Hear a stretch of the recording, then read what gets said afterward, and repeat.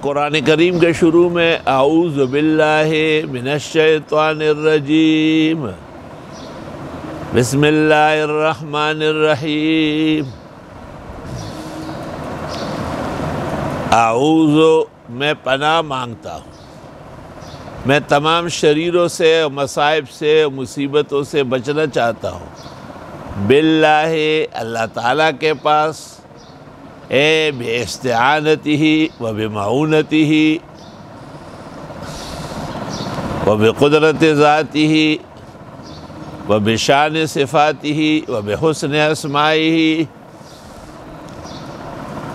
اعوذ باللہ لفظ اللہ جیسے بتایا کہ اس میں جامد ہے نہ یہ کسی سے نکلا ہے، نہ اس سے کوئی آگے نکلے گا۔ لم یلد ولم یولد کی طرح ہے۔ اس طرح کہتے ہیں کہ لفظ اللہ اللہ تعالیٰ کے بڑے ناموں میں سے اور اس کو عالم الاعلام اور اجل الاعلام اور عالم ذات تک کہا گیا ہے۔ اس کے بعد دوسرا درجہ رحمان کا ہے، جو اللہ تعالیٰ کا شب عمل ہے شب عالم ہے یعنی اس عالم کے قریب قریب ہے۔ قرد اللہ عبد الرحمن۔ آپ اللہ کہہ کر پکارے، یا رحمان کہہ کر پکارے۔ ایما تدعو فلح الاسماء الحسنہ جس نام سے بھی پکارو، اللہ کے نام پیارے ہیں۔ اعوذ باللہ من الشیطان الرجیم۔ دنیا کے اندر سب سے بڑا دشمن جو انسانیت کا ہے، تہذیب کا ہے، شرافت کا ہے، عقائد صحیحہ کا ہے، پسندیدہ اعمال کا ہے، اس کو شیطان کہتے ہیں۔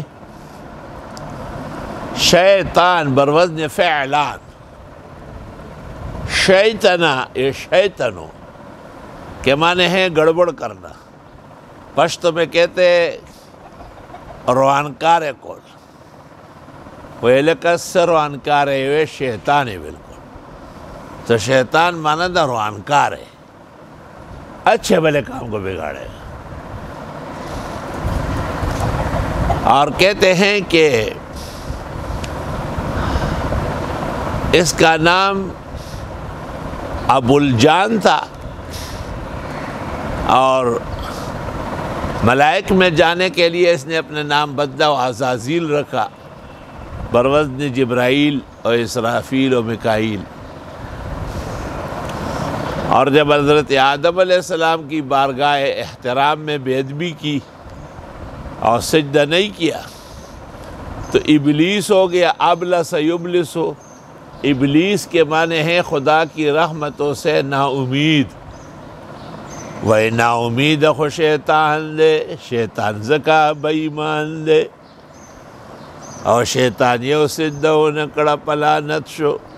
او بے فیدے ورتد عمر عبادت شو۔ اعوذ باللہ من الشیطان الرجیم۔ اس شیطان کو اللہ تعالیٰ نے رجم کیا ہے۔ یعنی رحمتوں سے گرایا ہے، لعنت اور پٹکار سے مارا ہے۔ رجیم بمانے مرجوم کے ہے، جیسے جریح بمانے مجروح کے ہے۔ اور قتیل بمانے مقتول کے ہے۔ فعیل کا وزن مفول کے لیے آتا ہے۔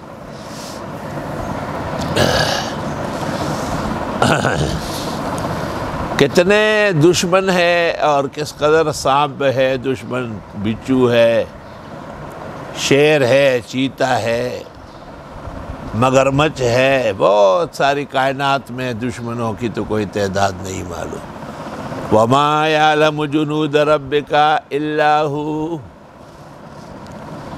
مگر ان تمام میں سب سے بڑا دشمن وہ شیطان ہے۔ شیطان شروع سے دشمن نہ تھا۔ جب حضرت آدم علیہ السلام کو اللہ نے عزت بخشی فَقُلْنَا لِلْمَلَائِكَةِ اسْجُدُوا لِآدَمْ۔ ہم نے فرشتوں سے کہا کہ آدم کا سجدہ کرو۔ فسجد الملائکت کلہ مجمعون۔ تمام فرشتوں نے سجدہ کیا۔ ایک سجدہ کیا، دیکھا، سر اٹھا کے کہ یہ بیمان جو ہے، ابلیس اسی طرح ہی کڑا ہے تو ڈر کے مارش ہے۔ ملائک دوسرے سجدے میں گر گئے۔ اور فقہ کہتے ہیں کہ ہر رکعت میں دو سجدے لا علتین دونوں واجب ہیں، فرض ہے۔ عجیب بات تھی کتنے سجدے کر چکا تھا۔ بعض روایات میں ہے کہ ماں میں مودین فی السماوات اللہ و شیطان و تطوع و سجد فی سوئی رکھنے کی جگہ سماوات میں نہیں، مگر اس محروم نے اس میں عبادت کی ہے۔ لیکن ایک سجدہ ایسا آیا جو اس کے لیے آزمائش بنا۔ اور اس نے کہا کہ میں سجدہ کیوں کروں؟ اسجدو لمن خلقتہ بشرا۔ یہ تو ایک بشر ہے، میں سجدہ کیسے کروں؟ اور شیطان نے کہا کہ آدم علیہ السلام تو ایک خاکی مٹی سے پیدا ہے اور میں آگ سے بناؤں تو مٹی میں یہ تاثیر ہے اوپر پھینکو تو نیچے آ جائے گی، لیکن آگ نیچے جلاؤ تو شعلے اوپر آ جائیں گے۔ تو برعکس ہونا چاہیے تھا کہ اس کو حکم ہو جاتا کہ یہ میرا سجدہ کرتا۔ اللہ تعالیٰ کے حکمت ایزدی اور عوامر اور ان کے مستحسنات اور ان کے موجب، موجبات سے گویا منکر ہو گیا۔ تو اللہ نے کہا، فَإِنَّكَ رَجِيمٌ، آپ کو دھتکار آ گیا۔ وَإِنَّا لَيْكَ اللَّعْنَا إِلَى يَوْمِ الدِّينَ، قیامت تک تم پر لعنت رہے گی۔ لَأَمْلَأَنَّ جَهَنَّمَ مِنَ الْجِنَّةِ وَالنَّاسِ أَجْمَعِينَ۔ اور تیرے جو ماننے والے اور تیرے پوجا کرنے والے، انسان و جن کیوں نہ ہو، ان سے بھی دو زخ بھروں گا۔ علماء نے لکھا ہے کہ تقدیر الہی میں یہ کافر تھا۔ وہ کان من الکافرین، بعضوں نے کہا کان میں ضرورت ہو گئی ہے۔ سوارا من الکافرین والمسئلت تفسیریت فی محلہا۔ اعوذ باللہ من الشیطان الرجیم۔ میں پناہ مانگتا ہوں اللہ تعالیٰ کے پاس شیطان مردود سے۔ اعوذ باللہ من الشیطان الرجیم۔ پناہ مانگتا ہوں اللہ تعالیٰ کے پاس۔ شیطان دھتکارے ہوئے سے۔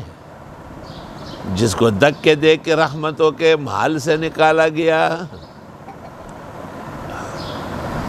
اور جس کو ہمیشہ کے لیے ملعون یعنی رحمتوں سے دور کر دیا گیا، کیونکہ اللہ کے سری حکم کا انکار کیا۔ اللہ نے کہا، سجدہ کرو۔ اس نے کہا، میں کیوں سجدہ کروں؟ یہ تو بشر ہے اور میں ناری ہوں۔ تو بشر کو چاہیے کہ آگ والے کو سجدہ کرے، نہ کہ آگ والا خاک والے کو سجدہ کرے۔ خدا تعالیٰ کے سامنے اپنی منگڑت بےحودہ فضول وجوہات ذکر کر رہا تھا۔